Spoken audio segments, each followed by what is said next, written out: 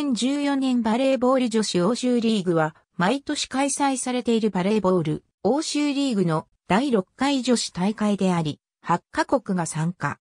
決勝ラウンドが集中開催方式ではなく、ホームアウェイ方式で開催される。優勝チームには次期ワールドグランプリ出場権が与えられる。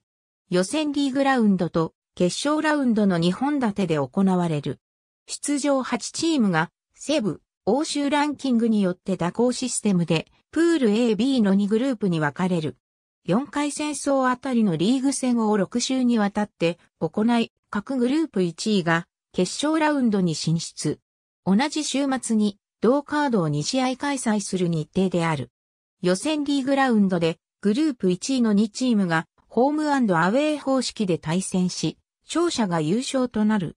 当大会の直後に2014年ワールドグランプリが開催されるタイトな日程であるため、2試合のみの開催となった。